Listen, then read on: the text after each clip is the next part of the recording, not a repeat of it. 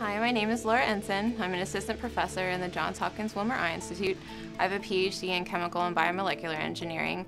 I'm in the nanomedicine division in the Center for Nanomedicine. So two of the major areas that I focus on uh, one is actually injectable uh, approaches, and so now it's it's typical that you know people have to go through monthly injections um, for the rest of their lives for things like age-related macular degeneration. Whereas with using drug delivery and using some of the engineering approaches that we've employed, we can reduce injection frequencies even to once every four months or every six months, um, which is really both a, an improvement for the quality of life of the patient, but also for the efficacy of the treatment. And so a second area that we focus on is topical approaches. And so in this case, uh, patients have to administer drops you know, multiple times a day, sometimes multiple drops. Um, it's very difficult to remember all of the drops and it's very unpleasant.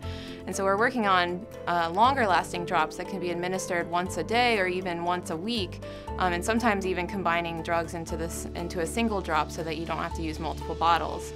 At the Center for Nanomedicine, many of us are actually engineers, and so we don't see patients and we don't have the medical background. Um, so that's why that's one of the big benefits of being at the Wilmer Eye Institute is that we have all the clinicians both here, but then we have collaborations, you know, across the country and, and around the world for really identifying new uh, opportunities and patient needs so that we can engineer better therapeutics uh, to address those conditions and diseases. One of the great opportunities that we have with drug delivery is that we can not only make therapies more efficacious, but we're really improving the quality of life of patients, and that's where the real excitement uh, comes in and why it's so important to be here at the Wilmer Eye Institute.